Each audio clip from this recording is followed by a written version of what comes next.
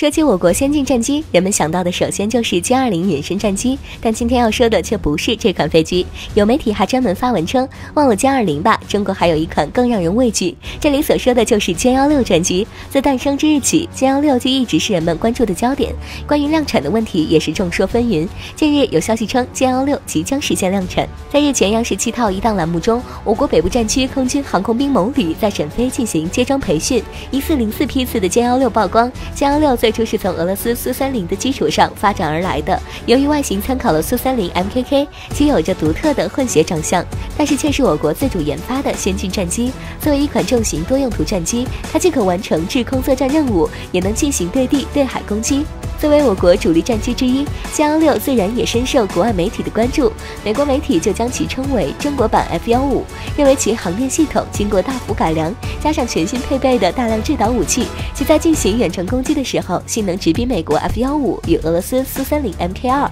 美媒的文中指出，在电子战方面，我国一直远远落后于美国，但近年来这个差距逐渐缩小，尤其是在歼幺六诞生以后。美媒称，我国正在效仿美军改造超级大黄蜂战机的经验，将目前的主力机型歼幺六改造为更具有电子战能力的歼幺六 D。早在二零一五年的时候，网上就曝光了歼幺六 D 进行试验的画面。与歼幺六不同的是，歼幺六 D 机翼翼间安装了类似于美国 EA 幺八 G 的电子干扰吊舱，机身还多了些天线和电子战装置。更为重要的是，歼幺六 D 改变了机头整流罩的形状，此举或许是为了装备更先进的有源相控阵雷达。美媒认为，这款电子战飞机极大可能是用来对付美国海军舰艇。由于歼幺六 D 的挂载能力非常强大，人们赋予了它“炸弹之车”的美誉。有分析认为，电子作战是赢得战争的关键，毕竟开打后的前几个小时是最重要的，必须要具备能够压制敌方雷达系统的能力。因此，有“炸弹之车”美誉的歼幺六 D 将使中国空军的空中战略转守为攻。作为促进我国空军战略转型的重要机型，